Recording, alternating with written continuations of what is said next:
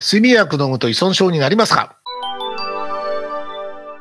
?HIC さん48歳だって。不安、睡眠障害で内科の医師よりソラナックスマイスリーを寝る前に治療処方されています。不安で寝つけない、眠れない時に両方またはどちらか一錠をトンプでも良いと処方されたのですが、この容量でしたら数年飲んでいても依存などはあまり考えなくても良いのでしょうかいや、皆さん先のこと考えるの好きですよね。そんな1年後とか3年後の考えるよりも今日眠れるか眠れないかを心配した方がいいんじゃないかなっていうふうに思いますけど。そうじゃないですか。1年後、3年後、5年後、10年後、あなたがどうなっているかなんか、そんなことは分かりませんよ、それはね。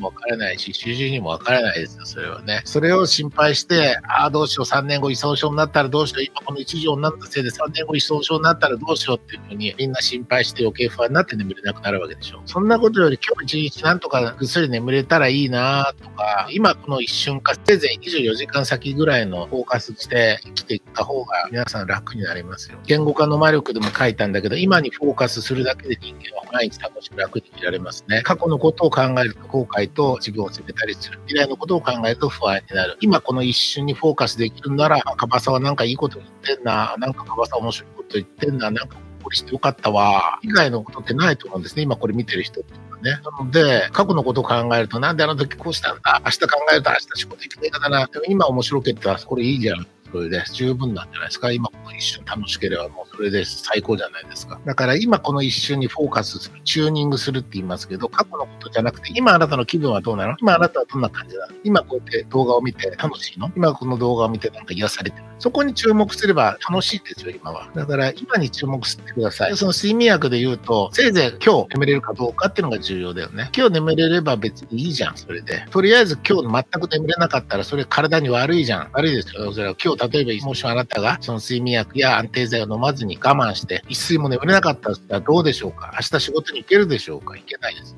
もし行ったとしても頭ぼーっとしてなんか全然仕事が手につかないっていう状態になってしまう。ってことを考えれば薬飲んでても、とりあえずまず寝た方がいいかなっていうふうになってくるので、あんまりそれを飲み続けたら依存症になるとか、そんなことが、例えば1週間連続で睡眠薬を飲んでしまったっていう状態になってから考えても別に遅くないと思うんですよね。少なくとも1日おきとか、1回に1回ぐらい睡眠薬を飲んでる人は、そんなに損傷にはならないです。損傷っていうのは毎日飲む存症であって、それがないともう不安でしょうがないっていう依存症の特徴なわけだから、1日おき飲んでる人は依存症にはならないですね。アルコール依存症も1日おきお酒を飲んでいて依存症ですって言ったらいないですね、それはね。毎日飲むんですね。今日毎日飲まないと言っても立ってもいられないっていうのが依存症なわけですね。なので、あんまりその今後どうなるかっていうのはそんなに心配してもしょうがないし、それを心配するから、その余計なことをあなたが心配するんで眠れなくなっていく薬が必要になってくるわけなので、もうちょっとおおらかにというか、やんわりと緩やかに物事を考えるように練習していったらいいと思うけど、いや、依存症になったらどうしよう。うん、でもそんなこと今考えてもしょうがないからさっさと寝よう。やはり心になれば、睡眠薬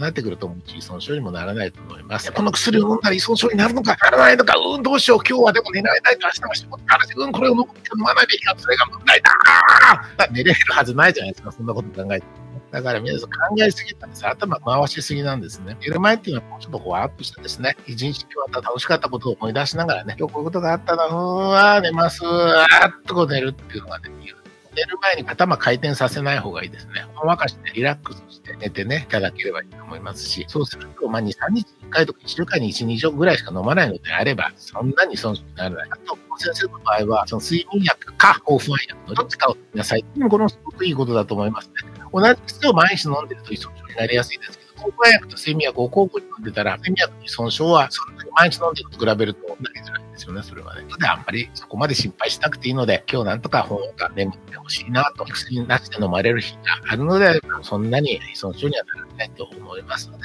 緩やかに考えていいのではないでしょうか。